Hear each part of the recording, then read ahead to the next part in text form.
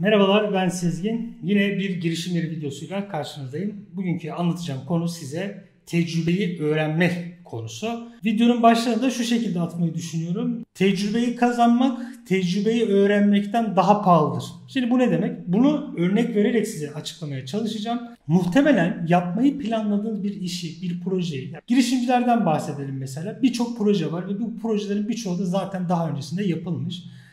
Tabii bu projeleri yapanlar muhtemelen sorunlar yaşamışlar. Muhtemelen değil, kesinlikle sorunlar yaşamışlardı. Zaten sorunlar olmasa, hatalar olmasa aslında geliştirmeler de olmaz. Yani yapı hatalar üzerine kurulur. Bu şekilde olur.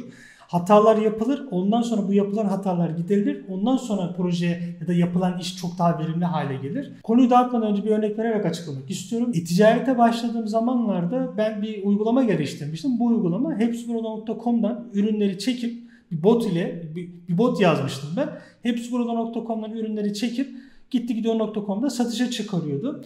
Bir dönem şöyle bir şey oldu. Satışlarım arttı. Satışların artmasını ben çok para kazanıyorum zannettim. Ta ki ne zamana kadar o kadar satış artmasına rağmen ikinci, üçüncü krediyi çekene kadar ben fark etmemiştim. Orada şöyle bir durum olmuş. Aslında program, yaptığım program yazılım bir hataya düşmüş. Aslında program da hataya düşmemiş. Hepsi burada bir altyapısını değiştirmiş, tasarımını değiştirmiş. Yani dediğim gibi hani bot yazılımı olduğu için en ufak bir güncelleme ister istemez ona bağlı diğer yazılımları etkileyebiliyor. Tabii ben bunun takibini düzgün yapamadığım için normalde ucuzdan alıp pahalıya satmam gereken ürünleri pahalıdan alıp ucuza satmışım. Normalde para kazanmam lazım değil mi? Para kazanmam için de bir ürünü ucuzdan alıp pahalıdan satmam lazım. Daha doğrusu aldığım bir ürünün üzerine kar koyarak satmam lazım. Fakat program öyle bir sıkıntıya girmiş ki pahalıdan alıp ucuza satıyordum ya da aldığım fiyattan daha düşük fiyata satıyordum. Sonra şöyle bir geliştirme yaparak ben bu sorunu çözdüm. Tabii ettiğim zararlar vesaire onları artık ayrı tutuyorum. Sonra ben de dedim ki e, bir yandan da ek bir geliştirme yaptım. Ayrıca dedim hepsi buradanın tasarımının değişip değişmediğine de dedim kontrol ettim. Şimdi nereye geleceğim?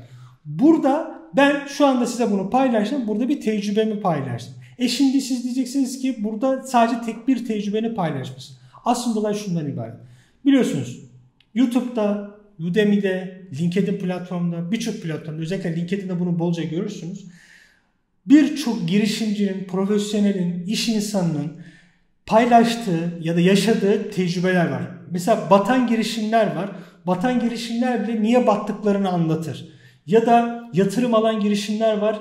Bu yatırımları nasıl aldıklarını anlatırlar. Ya da yaptıkları projeleri büyütenler bu günlere nasıl getirdiklerini anlatırlar.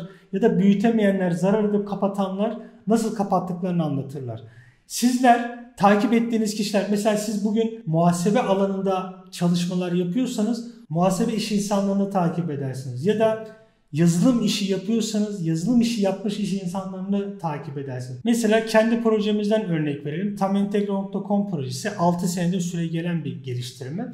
Burada çok basit bir örnek vereceğim. Diyelim ki hepsiburada.com. Hepsiburada.com'un entegrasyonunu yapacağız. Hepsiburada.com belli bir entegrasyon dokümanı paylaşmış. Ama biz diyoruz ki bize hazır varsa mesela bizim şu anki yazdığımız platform ASP.NET, Visual Studio.NET, C Sharp'ta hazırlanmış bir altyapımız var bizim. Diyoruz ki hepsi burada ya yapılmış var mı? Yapılmış varsa ver hatalarla bizi uğraştırma. Yapılmışı ver yapalım. Ya da işte diyoruz ki gitti gidiyor. Bak biz bunu yapacağız. Sizin servisiniz biraz farklı. Varsa .NET platformunda hazır bir kütüphane verin onun üzerinden gidelim diyoruz. Ya da hemen şey örneğinden örnek. Mesela bizim tam entegrede e-fatura e-arşiv entegrasyonumuz var. Biz bu e-fatura e-arşiv entegrasyonumuzu Foriba'nın şu anda ismi Solos oldu. Solos'un bize vermiş olduğu hazır kütüphane üzerinden yaptık. Şimdi nereye geleceğim? Normalde zaten yapılmış bir tarafta var. E zaten biz de C Sharp'ta kodluyoruz.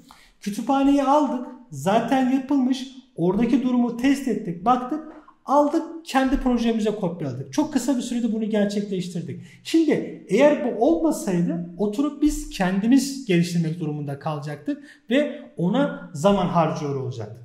Ya da işte takip ettiğimiz iş insanları arasında e-ticaret paketi olanlar var.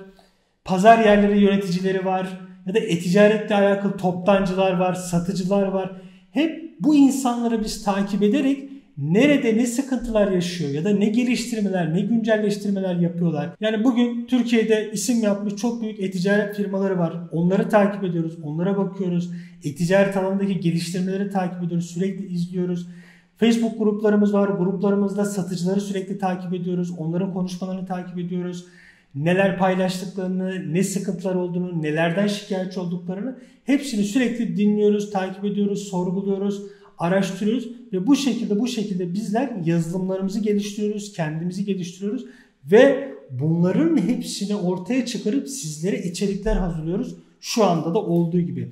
Yani örnek vererek dediğim gibi anlatmaya çalışıyorum. Yani sizler işbirliği, iş yaptığınız projeleri, işleri aynı işi yapan kişileri takip ederek buradaki zaman maliyetini kısaltabilirsiniz. Bu kısalttığınız zaman maliyetini de kendinize ya da projenize ayırarak daha profesyonel, daha az zararla işler çıkarabilirsiniz. O yüzden de aslında videonun başında dediğim olay şu. Tecrübeyi kazanmak, tecrübeyi öğrenmekten daha pahalıdır diye. Çünkü tecrübeyi öğrenirseniz bir daha o tecrübeyi kazanmak için para harcamazsınız ya da zaman harcamazsınız. Çünkü o tecrübeyi kazanmak için muhtemelen bir zaman ya da bir hata silsilesi geçecektir. Ama tecrübeyi öğrendiğiniz zaman zaten sizden önce onu birisi açtığı zaman o tecrübeyi zaten size kazandırdığı zaman bırakın zaten olan olmuş siz alın onu önünüze kurgulayın. Siz artık onu projenizde işinizde kurgulayın ki daha profesyonel olun. Yarın bir gün başkası bir şey yapacağı zaman sizin başkasından aldığınız tecrübeyi bırakın o da üzerine katarak sizden alsın. Böylece dediğim gibi tecrübeyi kazan elbette tecrübe her şekilde kazanır. Tecrübeyi öğrenirken de tecrübe kazanıyorsunuz aslında. Ama daha hızlı süreçte ve daha az maliyette ilerliyorsunuz. O yüzden hani bu konuyu toparlamak gerekirse dediğim gibi tecrübeli insanları takip edin. Sadece her şeyi ben yaparım modunda olmayın. Muhtemelen zaten daha önce birçok konu yapılmıştır, paylaşılmıştır. YouTube tarafını mutlaka araştırın. Kimler neler paylaşıyor bakın. LinkedIn platformunu mutlaka takip edin. Gerçekten oldukça faydasını göreceksiniz. Videoyu da bu şekilde sonlandırıyorum. Bir sonraki videolarda tekrar görüşmek üzere. Hoşçakalın, başarılar dilerim.